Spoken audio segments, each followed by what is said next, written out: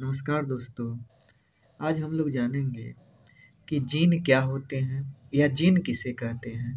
तो जीन जो होते हैं वो अनुवांशिक लक्षण को नियंत्रण करते हैं, जैसे में कि सभी जीवों में अनुवांशिक लक्षणों का नियंत्रण एवं संचरण अनुवांशिक इकाइयों द्वारा होता है। मेंडल ने इन्हें सबसे पहले जीन को मेंडल कारक नाम दिए थे।